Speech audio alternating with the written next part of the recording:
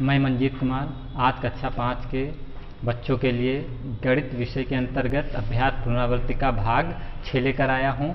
देखिए, इस भाग में इसका पहला सवाल, प्रिया ने चार सौ इक्कीस रुपये पच्चीस पैसे की मिठाई, तीन सौ पैंतीस रुपये पचास पैसे का कपड़ा और पैंसठ रुपये आठ पैसे की टॉफ़ी खरीदी। बताइए, प्रिया ने कुल कितना खर्च किया? देखिए, इस इबारती प्रश्न में आपको जोड़ना है क्योंकि जोड़ के लिए पहचान यहाँ पर दी गई है।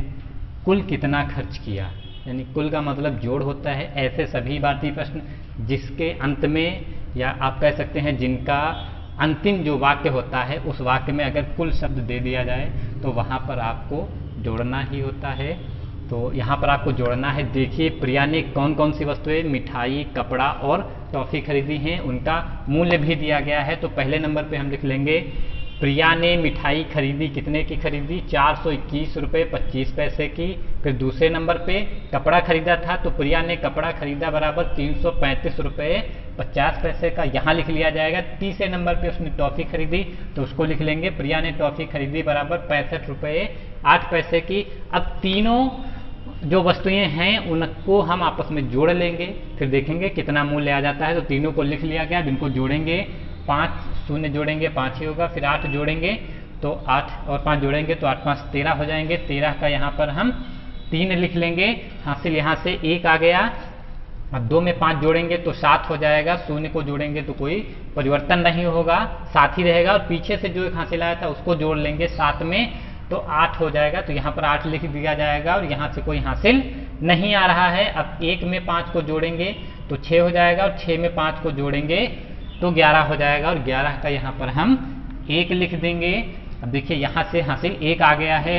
दो और तीन को जोड़ेंगे तो पाँच हो जाएगा। छः को जोड़ देंगे पाँच में तो ग्यारह हो जाएगा और ग्यारह में एक हासिल जोड़ देंगे तो बारह हो जाएगा। बारह का दो लिख दिया जाएगा। हासिल यहाँ से भी एक आ जाएगा। अब चार और तीन जोड़ लेंगे, फिर एक हासिल को जोड़ देंगे तो आठ हो जाएगा। यानी चार और तीन सात और एक हासिल जोड़ लिया। तो हो गया आठ। तो यहाँ पर आठ सौ इक्कीस रुपये तिरासी पैसे का उसने कुल सामान खरीदा। अब देखिए, अगला सवाल है, एक मीटर कपड़े का मूल्य दो हज़ार आठ सौ छिहत्तर रुपये है। सोलह पॉइंट पाँच मीटर कपड़े का मूल्य ज्ञात कीजिए। तो यहाँ पर देखिए, पहले एक मीटर कपड़े का मूल्य दिया है और इधर 16.5 मीटर कपड़े का मूल्य ज्ञात करना है तो पहले कम है बाद में ज़्यादा दिया है। यानी पहले एक मीटर है फिर 16.5 मीटर है। ज़्यादा दिया गया है कपड़ा। तो ज़्यादा के लिए क्या करेंगे? गुणा करेंगे। तो सबसे पहले लिखेंगे एक मीटर कपड़े का मूल्य बराबर दो हज़ार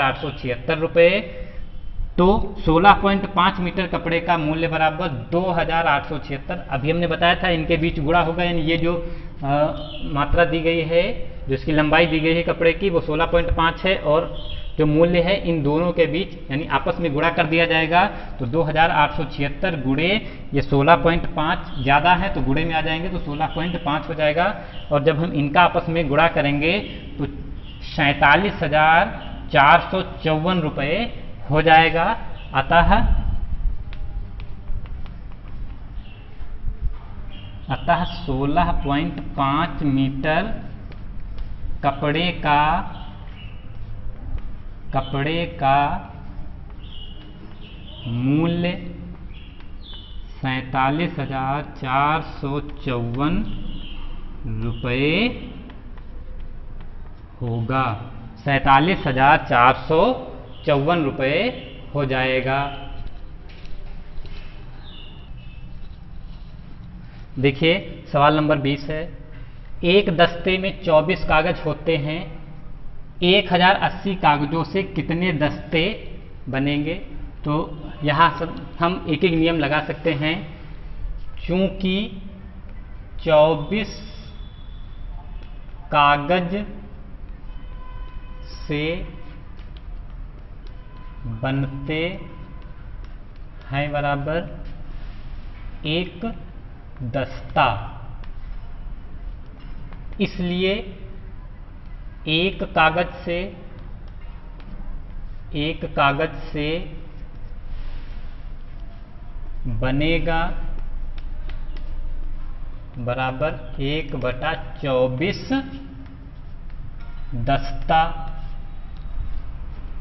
इसलिए एक हज़ार अस्सी है ना तो यहाँ लिख लेंगे, इसलिए एक हज़ार अस्सी कागज़ से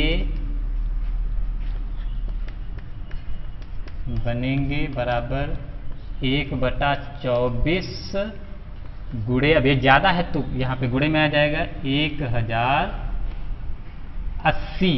तो देखिए चौबीस इक्के चौबीस चौबीस चौके छियानबे और 108 से छियानबे गए तो बच गए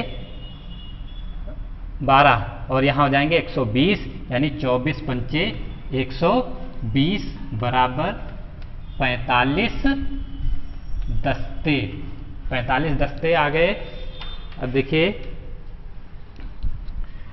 अतः एक हज़ार अस्सी कागज़ से कागजों से 45 दस्ते बनेंगे। फिर देखिए, सवाल नंबर 21 है, वह कौन सी संख्या है जो प्रत्येक संख्या का गुणनखंड होती है? वह कौन सी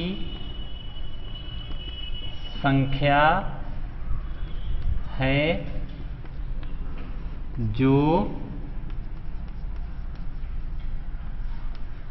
प्रत्येक संख्या का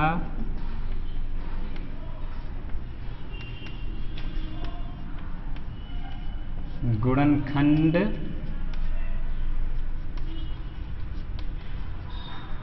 होती है। तो वह संख्या एक होगी जो प्रत्येक का या प्रत्येक संख्या का गुणनखंड होती है।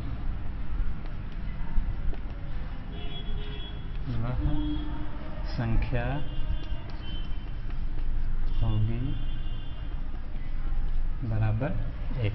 यानी एक ऐसी संख्या है जो प्रत्येक संख्या का गुणनखंड होती है। धन्यवाद।